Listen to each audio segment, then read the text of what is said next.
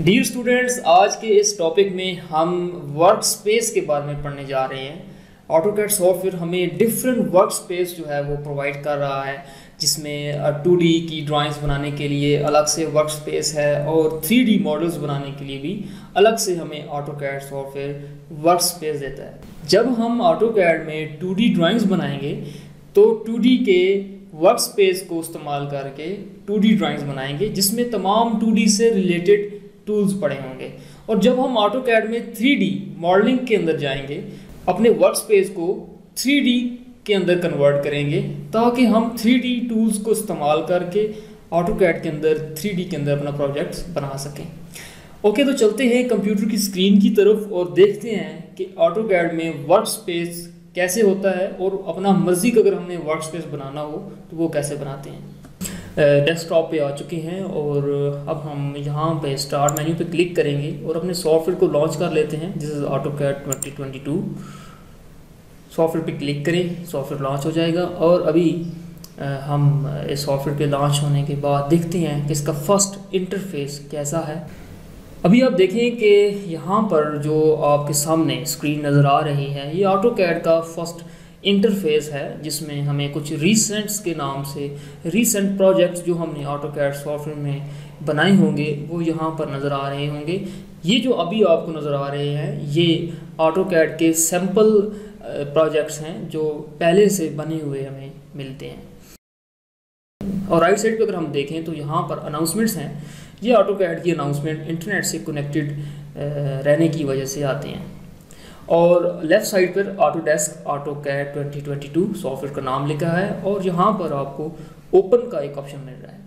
इस ओपन के फ़ंक्शन को हम बने हुए पहले से प्रोजेक्ट को री ओपन करने के लिए हम इस्तेमाल करते हैं और हमें अगर न्यू प्रोजेक्ट बनाना है तो न्यू प्रोजेक्ट के लिए हमें इस न्यू के बटन के ऊपर क्लिक करनी है। तो हम अभी इस न्यू बटन के ऊपर क्लिक करते हैं। जब हम फ़र्स्ट टाइम क्लिक करेंगे किसी भी न्यू प्रोजेक्ट के ऊपर तो ये थोड़ा सा टाइम लेगा।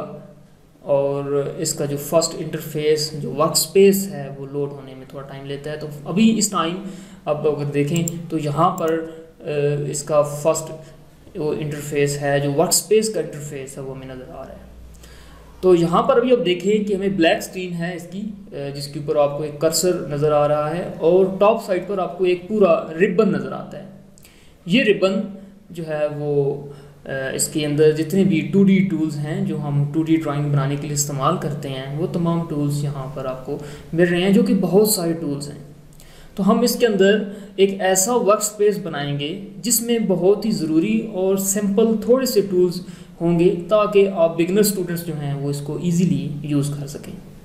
तो हम अभी एक दफ़ा यहाँ पर नीचे जाते हैं और यहाँ पर अगर हम देखें तो यहाँ पर लिखा हुआ है workspace switch workspace switch के साइड पर छोटा सा एक आपको एरो मिल रहा है। हम यहाँ पर क्लिक करेंगे और हमें यहाँ पर top three drafting and annotation three basics और थ्री मॉडलिंग के नाम से तीन वर्क स्पेस मिल रहे हैं। इस टाइम जो वर्क स्पेस एक्टिव है, वो ड्राफ्टिंग एंड एनोटेशन है। अगर हम यहाँ पर थ्री बेसिक्स के ऊपर क्लिक करें तो थोड़ा सा टाइम लेकर आप देखिए, यहाँ पर आपका वर्क स्पेस अब चेंज हो चुका है। पहले यहाँ पे ड्रॉ था और अभी यहाँ पे क्रिएट आ गया और यहाँ पे डिफरेंट पैनल्स जो हैं वो चेंज हो गए और अगर हम यहाँ पे दोबारा जाते हैं वर्क स्पेस पे और थ्री डी मॉडलिंग के ऊपर क्लिक करते हैं तो अभी हमें थ्री डी मॉडलिंग के रिलेटेड जितने भी जो टूल्स होंगे, जो हमें ज़रूरत पड़ेंगे नेक्स्ट प्रोजेक्ट्स के अंदर तो वो सारे यहाँ पे नज़र आ रहे हैं।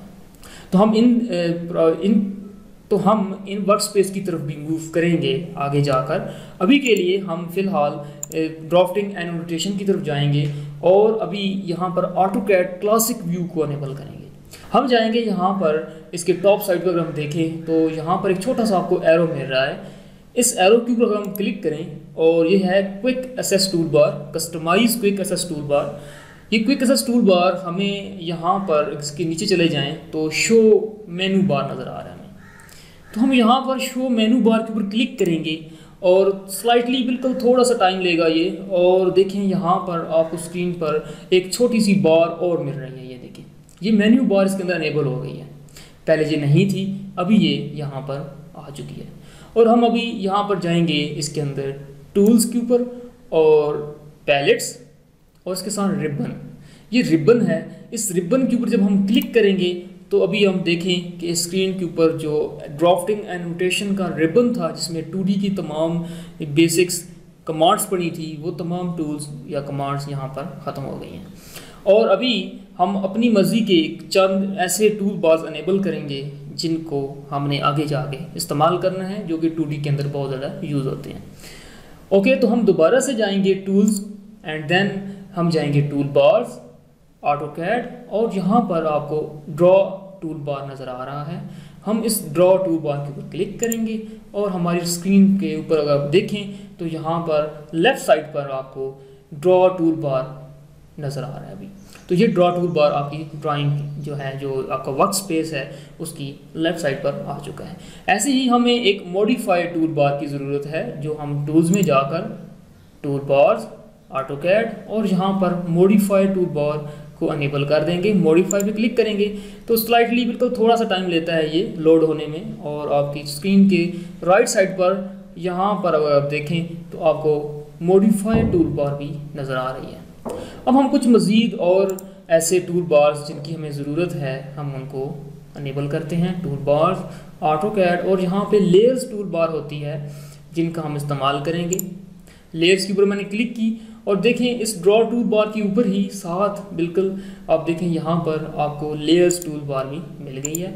और इसके साथ साथ और भी बहुत सारे ऐसे टूल्स बार्स हैं, जिनका हमने आगे जाके इस्तेमाल करना है। और जब हमें ज़रूरत पड़ेगी उन टूल बार्स की तो हम उनको ड्रॉ में से जाके, इधर टूल्स में से जाके इनेबल कर लेंगे। और अभी हम इस क्लासिक व्यू को सेव करेंगे, ताकि हमें ये बार बार क्लासिक व्यू अनेबल ना करना पड़े, हम यहाँ पे जाएँगे वर्क स्पेस के ऊपर और यहाँ पे save current as save current as के ऊपर हम क्लिक करें और यहाँ पे नेम क्या है? तो हम यहाँ पर अब ऑटो कैट क्लासिक के नाम से इस वर्क स्पेस को सेव कर देंगे ताकि आइंदा जब भी हम इस सॉफ्टवेयर को ओपन करें तो हमें ये पहले से वर्क स्पेस मिले। हमें बार बार इस वर्क स्पेस को खुद बनाना ना पड़े। ओके तो हम यहाँ पे नाम ले लेते हैं ऑटो कैट क्लासिक